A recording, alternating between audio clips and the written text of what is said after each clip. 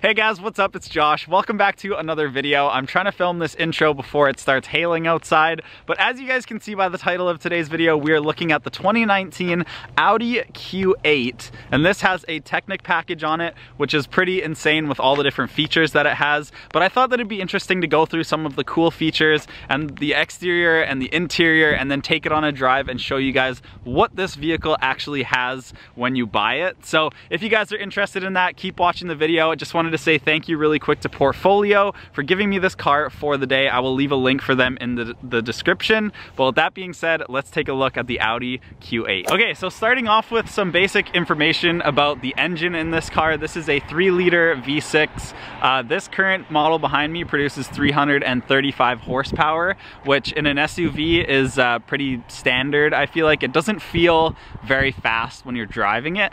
But one thing that I really wanted to focus on was the exterior because I feel like out of all of the Audi SUVs, this one is the most sporty. So the first thing that I wanna show you guys is the uh, front of the car and show you guys the lights just because I feel like these are pretty, uh, pretty cool and something that Audi did a really good job at designing. So as you guys can see inside the lights right here, there's a bunch of like different lights lined up and that is your running lights. Now also when you're driving down the road, if you put your turn signal on, uh, these actually light up in a way that kind of has like a swooping motion. So you can kind of like see it go across the front of the lights. Also above here, there are two big lights in there, which are part of your running lights or, or your daytime lights. And then underneath, these are actually, this is one big casing for your bright light. So now moving to the back of the car, as you guys can see right here, it has a very like sporty looking back end and I wanted to just show you guys some of the really cool features that I think come along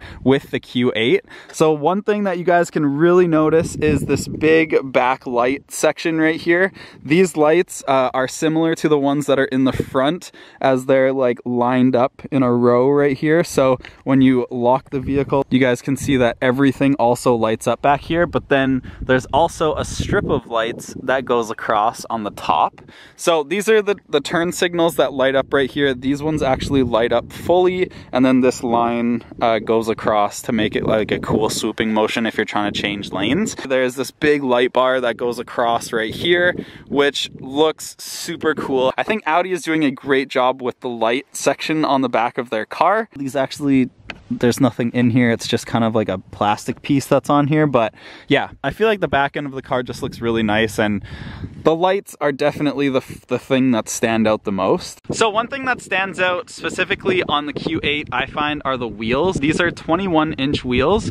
Now, if I go a little bit closer, the wheel design actually looks really nice. So that is the outside, the exterior of the Q8. There's some really cool features. I think it looks really nice and they did a good job at styling it. If you are buying the Q8, one of the main things that you're probably looking at is how much space it actually has. So when you open the trunk, this is what it looks like. It has uh, an automatic release and like automatic close so that you don't have to be pulling that thing down because it looks really heavy.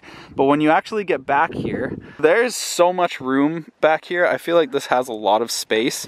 Now when you pull this up, there's just a extra spare tire in there. And then there are some LED lights. And then it has this cover that comes down for privacy if you really want it. And then there are also some uh, little like of these mesh things here to like hold things in if you want that. And then also a 12 volt outlet right here. Yeah that is the back of the q8 and it definitely has a lot of room especially if you put all three of those seats down. All right so for some of the interior features uh, one thing that i really like that audi is doing is they're making the interiors of their cars where it's all by touch. There's not really any buttons. So when you're sitting in the car, the first thing that you kind of feel is that everything looks like it's just one straight line of glass. And I think that that also gives it a really nice look, especially when the screens are turned off because it kind of just blends the whole dashboard into one.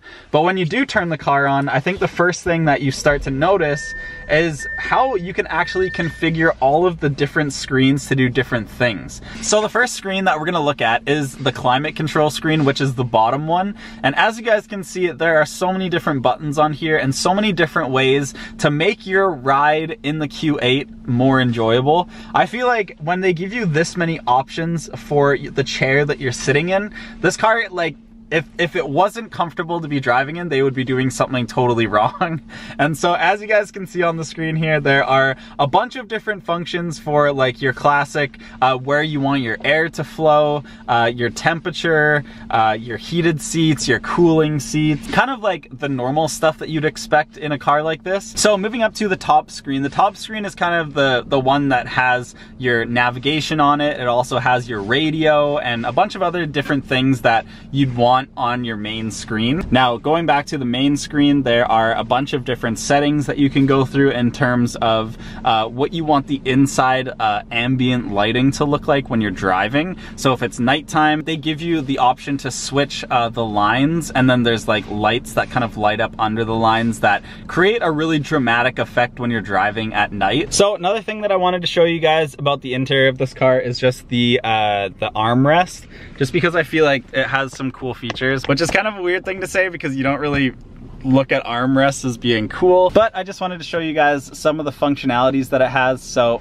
as you guys can see right now, it is just set up normally like it would be for if you were just driving, but if you want it to be a little bit further back, you pull this thing and you can push it back a little bit so that it like goes back a little bit further. If you want it to go forward, you just pull and it comes forward. Uh, and then also, if you want it to go further, you pull it again and it comes further. So it has a lot of like sliding room right here, which is kind of nice. Now, when you open it, you guys can see that also there is a wireless charging pad for your phone, which is super cool. Um, and then also your USB ports uh, and your SD slot are in here. So yeah, it's just a cool armrest. There's just a bunch of different functions that it has. So thought that it was worth noting. So one thing that I think would have been nice to also put in this car that I can't find anywhere, I don't think that there is a button for it and that is a heated steering wheel. Now this does have a heated steering wheel and you can go through the options in the climate control screen to, to put it on. But one thing that I think would have been nice was to be like to put it on the steering wheel. Now Audi doesn't like have a button for a heated steering wheel. So what they've done is they've actually put a button on here that you can adjust to be whatever you want. So this little button right here you can adjust this to be whatever you want in the car. So I have it set right now so that this is the heated steering wheel button. So when I push this, you guys can see on the screen right here, it says that the steering wheel uh, heating has been turned on. And then if I push it, it turns off. But it would have been nice to just like, I don't know, like even one of these little buttons or something just had a heated steering wheel and then you can just put whatever you want for this button. But that is only the real thing that I've noticed in this car that I was kind of looking for that I couldn't find. All right, so now we are sitting in the back seats and I gotta say that if you were a passenger in the Q8, you would definitely be having a super nice ride.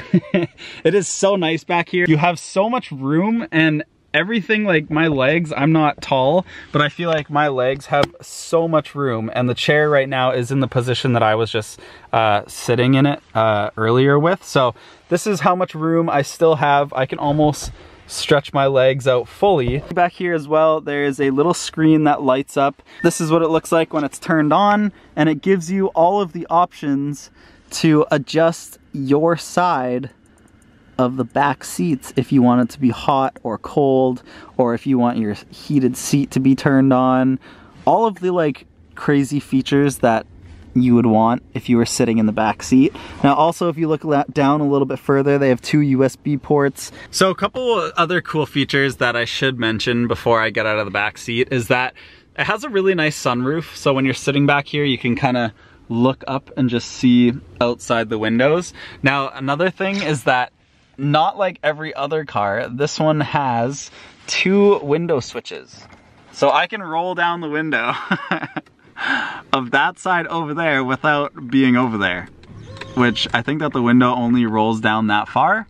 But I mean, if you're sitting back here and you want there to be some more air, you have the option to do that if you want which is not found on every car. Now it also has a middle uh, armrest piece that comes down, so when you pull on it, it just comes down pretty nice, flops down, and then you just push this, and your cup holders come out.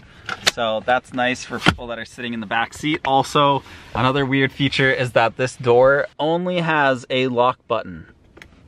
So if you're sitting in the back seat, actually I just locked it so I don't even know if I'm gonna be able to get out but it only has a lock button. It doesn't have an unlock button, which is kind of unusual, but that's what you get. The seats in the back can actually go down a little bit. Now it's nothing to be really bragging about because it's nothing crazy, but like when you pull the handle,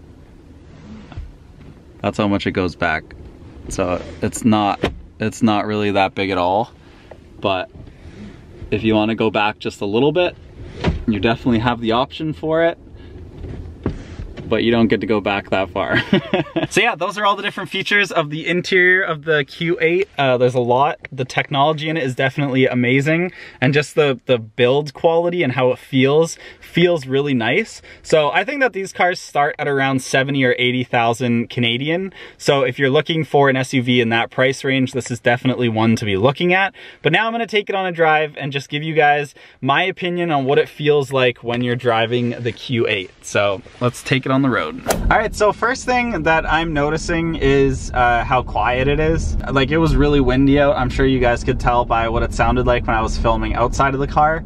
But you guys can like, I can't hear anything out there right now and the wind is blowing super hard. So that's the first thing that I noticed. The second thing that I noticed was that when you are, when you put your seatbelt on and you start driving, it really tugs on your seatbelt and tightens it for you. I know that like some people when they're sitting in cars and that happens, it kind of freaks them out. But I think it's a good feature that just it just makes you know that you have your seatbelt on and it tightens it so that it just feels a little bit better when it's on you. It doesn't really have that much power. I feel like 335 horsepower can be a lot for some cars, but I don't know if it's because this car is so heavy or uh, what it is, but when you put your foot down, to be honest, it doesn't really, it's not fast at all.